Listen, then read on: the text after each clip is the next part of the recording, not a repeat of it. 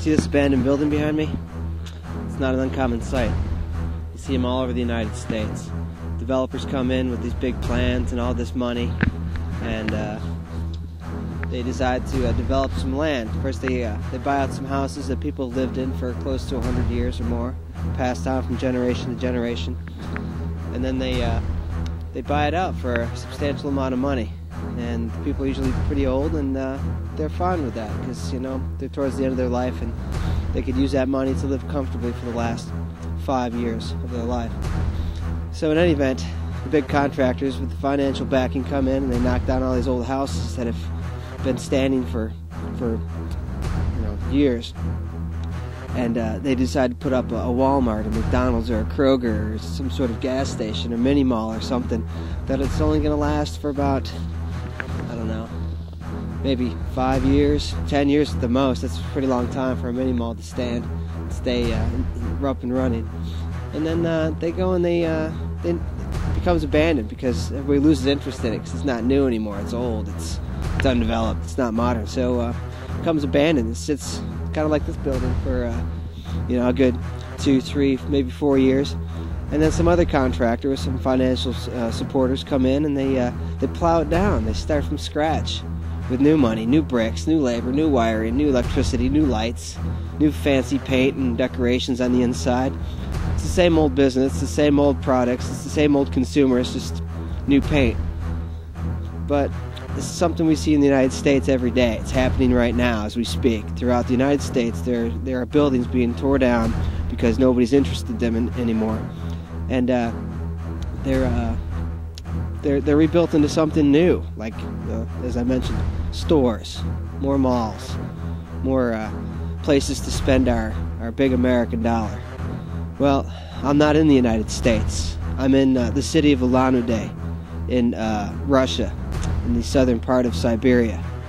Um, and this building behind me, um, they started to develop this building about 15 years ago when they started to develop the rest of these buildings, which, uh, as you'll see in a few minutes, uh, most of these other buildings are uh, like housing complexes. They're like giant, well, what we call in, in, in the United States, we call them the projects, but here it's comfortable living. It's cheap, well, to us, it's cheap and affordable and it's comfortable. But initially, the military, the government came in and built these structures to uh, to house the military. And um, when they did this, the military, because the airport's maybe less than a mile away from here, I could see the planes from, from almost where I'm standing. And um, the uh, so this was housing for the military, so it, it was pretty convenient to have uh, the airport right across the street and then all the uh, the troops nearby. And uh, then during uh, that was towards the end of the Cold War. So uh, when things started to change over the years, they decided to turn these into housing complexes for families. You know, kind of affordable. The family I'm staying with lives in one of these buildings. They uh, they tell me they pay close to fifty dollars a month for rent. And that includes heat and water and garbage and sanitation, things like that. To us, that's that's cheap, but to them, that's a lot of money. Fifty dollars is a lot of money to these people. So. Um, the point of the story is uh, this building behind me, this, this, abandoned building, is you would think that it was, you know, some sort of office complex or something to that effect. It, it, it was never finished. It was uh, it was it had plans to go in conjunction with the rest of these structures surrounding the airport, just uh, outside of the, the rim of the city. I'm about 15 minutes outside of downtown, and um, this building was never completed for financial reasons. Obviously, things cost money, and when the government says, "eh, we don't have the money for that anymore," so we're more interested in our military and other things, you know, of that nature. Unfortunately, we can't finish that that structure, and this isn't the only one. You can find them throughout this whole region.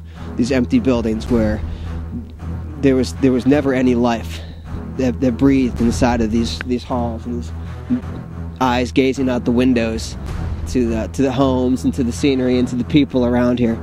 This building was supposed to have been a school, and it was never finished. And to me, that's sad. That's tragic. That something has to be done. I'm sorry. We have these throughout the United States everywhere, and and we throw them away like like magazines. But these people, they, they need this stuff. They, they need this to survive. This is this is their life. They they need things like this to follow through. You know, what can we do? what can they do? They have very little choice. All right. Well, I'm about to take you on a little tour of the inside of the school, and we'll try and figure out which which rooms were supposed to be for the science classes and which one are supposed to be for the math classes, and um, we'll go from there. Okay. Thanks.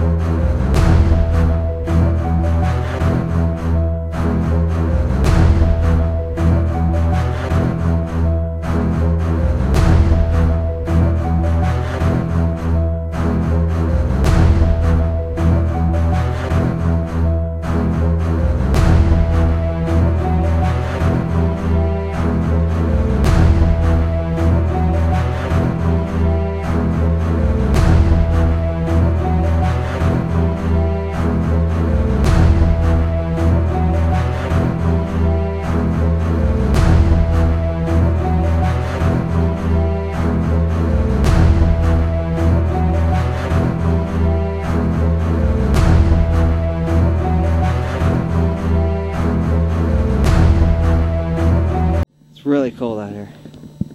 Really, really cold out here.